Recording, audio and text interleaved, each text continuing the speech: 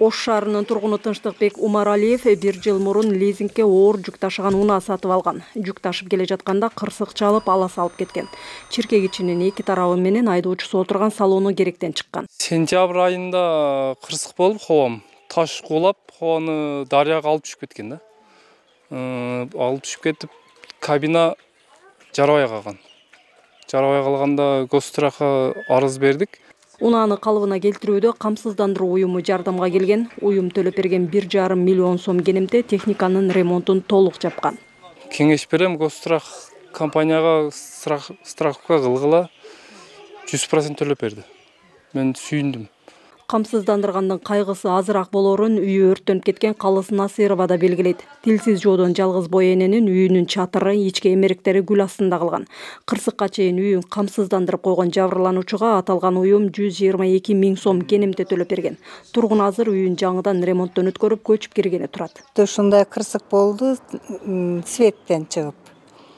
Анан ушу эл бар экен пожарныйлар келип өчүрүп калды. Камсыздандыруу ишканасынан жүз жыйырма эки миң берип үйүмдү ремонт кылып бүтүрүп мына киргени турам ушул күндөрү ремонтторун жасап алдым. Рахмат ушу өкмөткө да рахмат. Дал ушул сыяктуу ар кандай табигый жаратылыш кырсыктары катталган учурда мамлекет сууда же материалдык жардам берүү өнөктүгүн эки миң он алтынчы жылдан тартып токтоткон. Мындайда мамлекеттик камсыздандыруу уюму гана жардамга келе алат. Ошондо да эгерде сиз өз мүлкүңүздү камсыздандырган болсоңуз уюмдун кызматкерлери калк арасында түшүндүрүү иштерин улантууда уккан жокмун да информация особо жок. Же мен не сталкивалась может быть.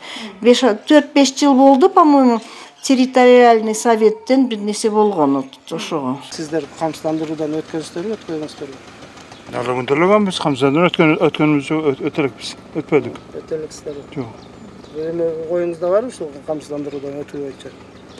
Эми эл төлөсө элесе өтөбүз да эми адамдардын мамлекеттик социалдык камсыздоого кызыгуусун жогорулатуу ишкердик субъекттер үчүн жагымдуу салык чөйрөсүн түзүү максатында өлкө башчысы тарабынан жарлык чыккан. Сактанууну каалагандар үчүн жаңы мүмкүнчүлүктөр да киргизилди.